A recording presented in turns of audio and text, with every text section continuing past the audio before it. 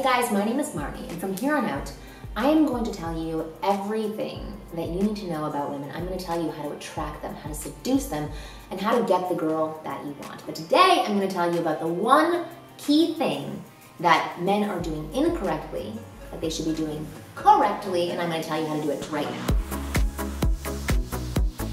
The one key thing that they're doing incorrectly with women is not asking for what they want. They're thinking women know what they want, but they're not asking for it. The more specific and confident you can be with stating your intentions and asking for what you want, the higher chance you're going to get a positive result. So let me tell you a story. I have this new client, and he was telling me this story about this woman that he works with who he has suddenly realized that he wants to start dating. So, in his mind, he's changed the way that he thinks about her. He sees her differently, which means the way he interacts with her is different.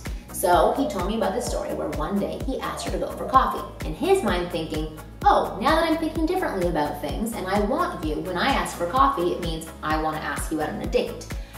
She said, no, I don't want to go for coffee. So right away, he took that as a rejection. And then he said he asked again and he got a very similar response. She said, no, I'm busy, I'm doing work, whatever. So he took that as two strikes. So he contacted me so that he could learn how to attract her. And I told him it was very easy for him to do. He just had to start being more clear on what he wants. Just because he changed his point of view and his intention in his mind doesn't mean that she's also done the same thing. So when he asks for coffee, he's literally just asking her for coffee. So he didn't really understand that until I put it into a different perspective. I said to him, I'm gonna ask you a question and you tell me what you hear. So I asked him, do you wanna go for a walk?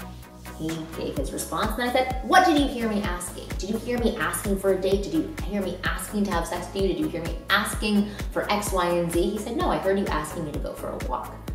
And that's when he had his aha moment. He said, oh my God, I have not been asking her directly for what I want. I'm tippy-toeing around it and thinking she understands my intention.